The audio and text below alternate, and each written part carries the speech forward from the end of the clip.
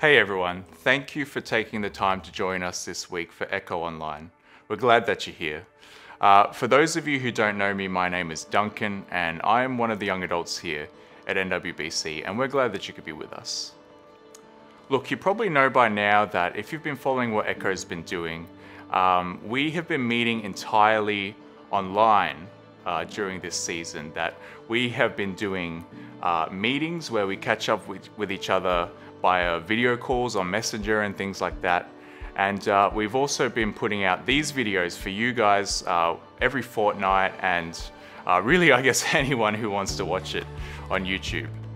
Um, and it's required us to learn a different way of doing things. It's required us to, to adapt to how we have to do things a little bit differently. But surely, if there is any group of people who is able to adapt to connecting online, it's the young adults. You know, people refer to us as the connected generation. And just this past uh, fortnight, I finally had the chance to look at a study that I've been trying to uh, look at for, for a little while now, and uh, it's actually called the Connected Generation. And it's a study that is put out by an organization called the Barna Group, uh, where they interviewed uh, 15,369 young adults, people between the ages of 18 and 35, from 25 different countries. And they interviewed them about the idea of identity, about the idea of uh, spirituality and, and Christianity. And they got them to respond to certain questions. And, and I just wanted to start this message by um, sharing with you some of the results, I guess, from that, from that study that really stood out to me.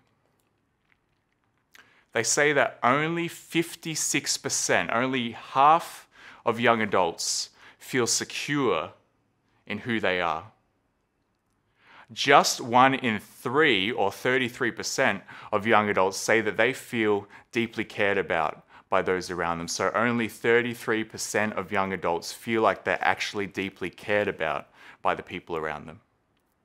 And this one really stood out to me. Almost half of young adults who have left Christianity have seen it as hypocritical, compared to three in 10 of those who've never been Christian. You know what that means? That means that the people who have experienced Christianity, the people who have been Christians themselves, the people who have had proximity with Christians, they're more likely to have seen hypocrisy than those who haven't. And you know, just yesterday, I, I want to be completely honest with you. Just yesterday, um, I was talking with someone about um, a friend of mine who actually uh, was a Christian and, and has left the faith and is no longer a Christian. And she was telling me that uh, the reason that he left the Christian faith is because he saw hypocrisy, because he saw the way that people were living their lives and he thought it's not worth it. And I don't know what, um, I don't know what side of the fence you stand on, whether you're a Christian, whether you call yourself a follower of Jesus or not. But either way, you probably got to agree with me. That's sad. That's sad. And I wonder about you. I wonder what your experience of Christianity has been. Maybe you're someone who grew up in a Christian home. Maybe you attended a Christian school. Maybe you just have Christian friends, or, or maybe none of those things, but you're just interested, I guess. You're just uh, intrigued to hear a little bit more about spirituality. I don't know what it is for you. And I don't even know who you are watching this video, but there is one thing I reckon I know about you. And that is that if you have lived long enough, you have encountered hypocrisy in your life. You have come across two faced people. People who live their lives in such a way that is selfish, that is immature, that, that hurts people, that actually um, um, undermines the dignity of other people, but not just other people. It actually undermines their own dignity as well and compromises their own integrity. And you've seen that, and you wish there was another way. You think, I wish there was another way, if only there was another way, because this isn't it. This isn't it. And let me tell you, unless if a desirable and attractive alternative is presented to young people, and they're going to continue to fall for the same stupid things that the generation and the generation before them did. And so we have to address this generation. We have to address this generation because it is a generation of people who feel insecure in their identity. It is a generation of people whose identity is fragmented. And so that's what this series is about. We're starting a new series that we've titled Regeneration. And we're looking at the idea that maybe there is another way. Maybe there is another way, a regenerated way to live our lives. You know, in the New Testament, uh, in the Bible, we actually read several letters from the Apostle Paul where he is in um, correspondence with, with the next generation of Jesus followers. And uh, Paul was a very prolific man. He, he was in communication with several churches throughout Asia and Europe. And uh, because of that, and, and, I guess just because of history, um, we don't actually have all of the letters that he wrote, but we do have some documented. And uh, the one we're going to look at together today is recorded in the Bible as the book of Second Corinthians. So we only have two of these letters, but uh, uh, uh reality is it's suggested that there was at least four letters. There was at least four letters that Paul sent out in correspondence with the Corinthians. But we're just going to look at Second Corinthians today. So if you allow me, let's look at it together now. It says this Are we beginning to commend ourselves again? Or do we need, like some people, letters of recommendation to you or from you? You yourselves are our letter, written on our hearts, known and read by everyone. You show that you are a letter from Christ, the result of our ministry written not with ink, but with the Spirit of the living God, not on tablets of stone, but on tablets of human hearts. So the people of Corinth, uh, they were a very intellectual society.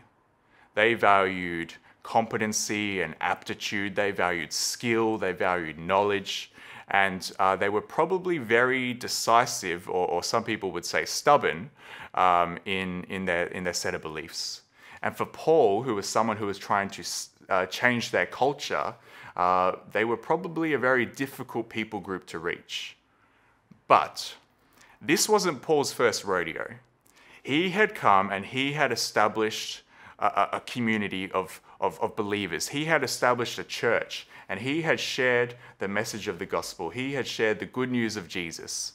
And then he had uh, moved on his way to carry on his mission elsewhere. Because for Paul, that was kind of his, um, that was his method of doing ministry, I guess, that he would spend some time with one group of people and then do the same thing elsewhere with another group of people. But we read a time in the, in the relationship between Paul and the Corinthians where it's actually fragmented. And the Corinthians are beginning to question Paul's legitimacy. They're beginning to question his identity. They're maybe even beginning to think that this man, Paul, might actually be a man of hypocrisy. Because you see, during Paul's absence, uh, there were, were new leaders had begun to emerge in the church. And these people were false teachers. These people were corrupt people who, who spread a different version of Christianity to the one that Paul promoted. And these people came with letters of recommendation. They came with, with um, uh, credentials. They were people who were highly esteemed, they were highly reputable. And so, because of their influence, the church of Corinth began to think that maybe if Paul doesn't have one of these letters, then maybe he isn't our guy. Maybe he's not the real deal. And can you imagine how insulting and just baffling that must have been for Paul? Because here's the guy who literally poured out his heart. He poured out his heart for these people to establish this church. And, and, and now, in his absence, they begin to question him not just as a leader, but as a man of God. They begin to question his spiritual authority. Can you imagine how that would feel? And here's the thing Paul had the credentials. In his previous way of life, Paul was a very religious man. He was what, what they would refer to as a Pharisee, which is someone who, you know, um, for, for those of us who are Christians, who call ourselves Christians, we maybe we find it difficult to read the Bible like, I don't know, every day. Or we find it difficult to read the Bible once a week or something, right? But these guys, from a very young age, they actually had to begin to memorize and recite the Torah. So Paul had the knowledge, he had the know how. And not only that, he was actually the best of the best of the best. He was the best. He had the credentials for what he needed. And not even looking at his past, if you just look at who Paul was during this time, he was a man who was renowned for being passionate about Jesus. He was a man who was being uh, renowned for being sold out for sharing the message of Jesus. So he had the credentials. But what's amazing in this passage is not the way that Paul chooses to defend himself. What's amazing is the way he tries to shift the focus to a new identity. Because he cares deeply about these people, he wants to show them that maybe there is a better way than this. He wants to show them that maybe there is a way of doing life that brings freedom. Maybe there is a better way of doing life that brings hope. Maybe there's a way of doing life that brings significance and inspiration to us, and it is a regenerated way of doing life. So Paul goes on. Now, if the ministry that brought death, which was engraved in letters on stone, came with glory, so that the Israelites could not look steadily at the face of Moses because of its glory, will not the ministry of the Spirit be even more glorious?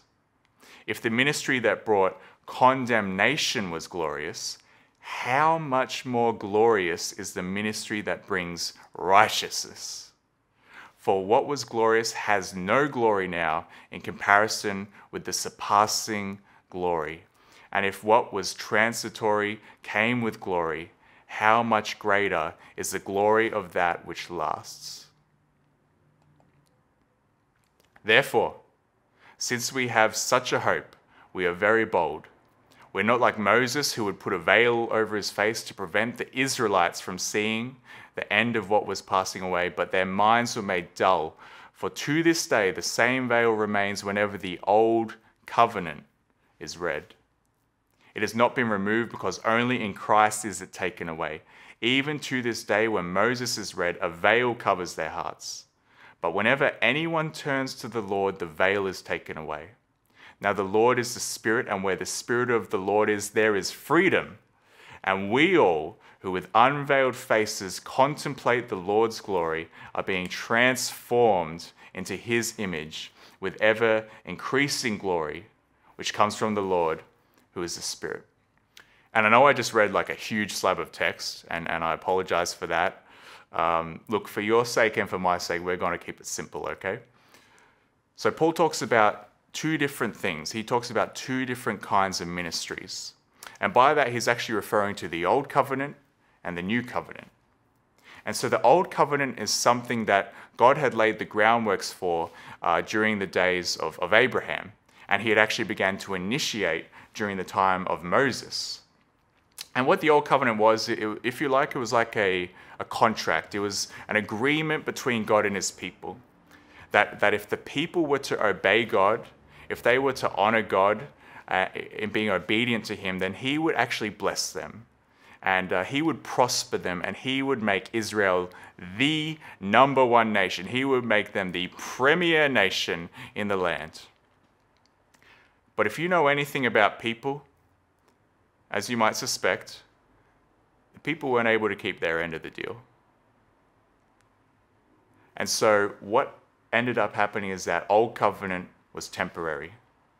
It was temporary. It was a temporary fix, but it didn't resolve the problem of sin in our lives. But when Jesus came, he came to fulfill the old covenant. He came to introduce a new covenant between God and his people. And that covenant is that, that, that, that if you receive that version, if you receive that regenerated version of yourself, it's not that you just get a ticket to heaven. It's like, woohoo, I just I get to go to heaven. You actually receive a new way of being. You receive a new identity. You receive a regenerated identity. And what is that identity? We actually become transformed into the image of Christ. And so that's why Paul says a little later in Corinthians, he says that if anyone is in Christ, if anyone is in Christ, he is a new creation. The old has passed away. Behold, the new has come. And what's fascinating about this is that it says that if anyone is in Christ, they are a new creation. As soon as you receive Jesus, as soon as you receive Jesus and you turn from, from your previous way, from the old way of life, you receive a new ministry, you receive a new covenant, you receive a new identity, a regenerated identity in Jesus that allows your life to echo the life of Jesus to those around you. Your identity changes. And what might surprise you but I think if you were to give it some thought, maybe you would actually agree with me. Is that just because you're doing something different, just because you know something different, it doesn't necessarily result in being different. Just because you know something, just because you do something different, doesn't mean you, you become different. Think about it this way. If I were to um, Imagine I began to play football. And this is an imaginary scenario because it's, it's not believable. Uh, imagine I began to play football, right? And I began to research as much as I could about football. I, I just developed my knowledge, right? Well, let me ask you does that mean that I become an AFL football player? Not necessarily. Not necessarily. Just because you're doing something different and just because you know something, it doesn't mean that you change as a person your activity doesn't change, your, your, your identity doesn't change based on your activity. It's actually the other way around. It's the other way around. And that's what, um, it's actually something my mentor used to say to me. He said um, that, Duncan, your, your possibility determines your activity your possibility. In other words, the possible version of you, the version of you that you dream about, that you aspire to, the ideal version of you, that the person that you've always wanted to be. That version of you determines where your energy goes. That determines the amount of energy you're, you're, you're willing to put into the activity to get there. Your possibility determines your activity.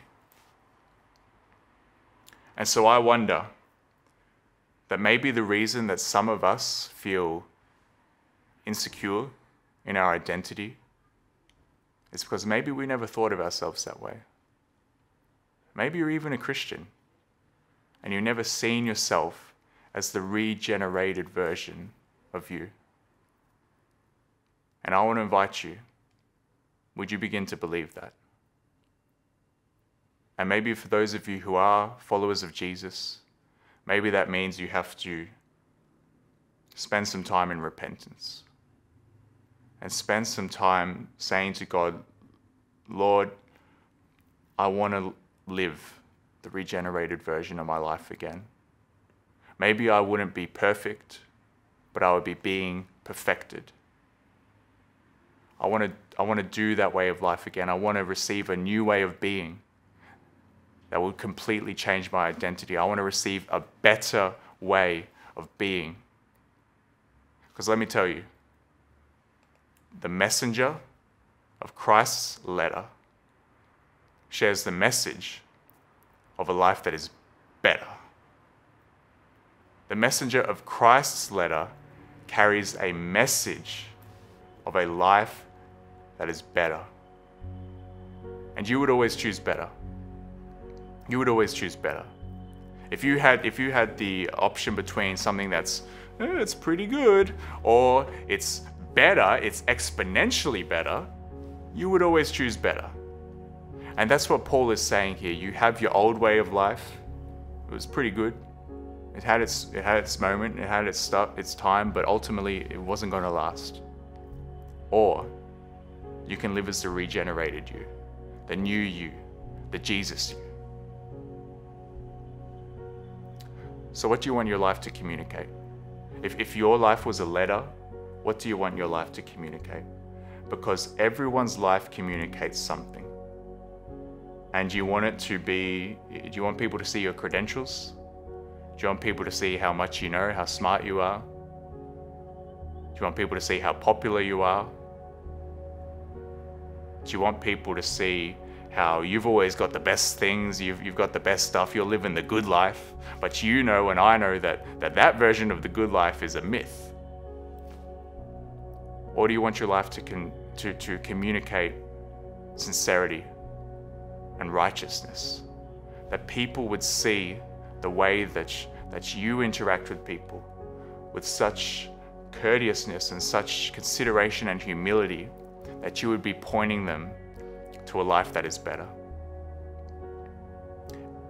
And if you're not a follower of Jesus, I, I, I don't want to offend anyone, but, but I dare say this that you will never live the regenerated life unless if you allow the Holy Spirit to move inside of you. You will always be confronted with your old way of doing life. You will always be confronted with your old nature, your imperfect nature. But there is a way that's better. And we invite you to that. We invite you to the life of, of Jesus that is, that is a message, a letter of a life that is better. Hey, thank you everyone for um, joining us this week. This has been uh, the first of, of a series that we're going to be doing now for the, uh, for the next little while. And um, you know, if, if you weren't happy with uh, th- this message, well, don't worry. I think hopefully we're going to get some other young adults to share with you as well. So um, tune in then, and uh, we hope to see you there. All right, take care, everyone.